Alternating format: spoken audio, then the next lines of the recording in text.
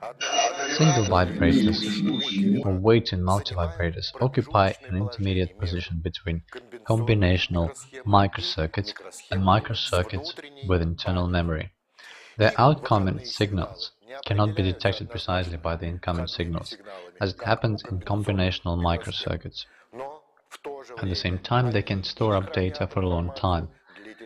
Single vibrators are microcircuits, which in response to the incoming signal, logical level front, form an outlet signal of a set duration. The duration of the impulse is determined by the external time-setting resistors and condensers.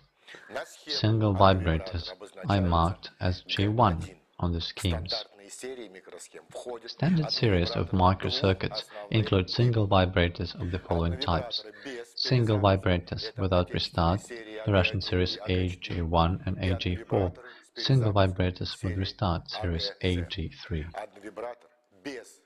The single vibrator without restart does not react to the incoming signal until the termination of its incoming impulse.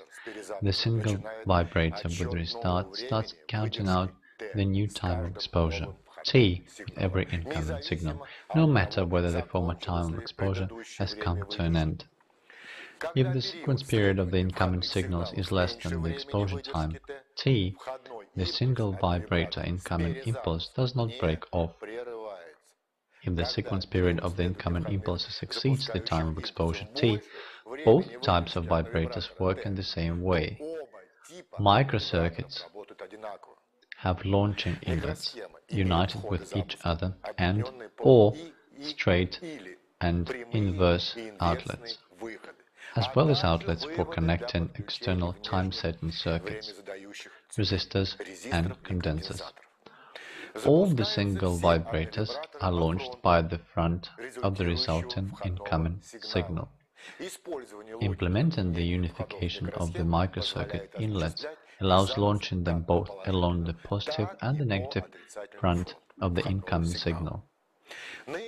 The most widespread examples of applying single vibrators are increasing the duration of the incoming impulse, decreasing the duration of the incoming impulse, dividing the frequency of the incoming signal by a set number of times, forming the signal of the envelope sequence of the incoming impulses.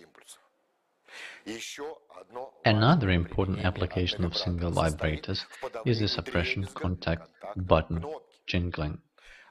The single vibrator with an increased time of exposure of tenth fractions of a second are reliable in suppressing parasitic impulses, appearing due to the contact jingling and from perfect impulses for every pressing of the button. Single vibrators also may be used for constructing generators of rectangular impulses with various values of impulse duration and pauses between them.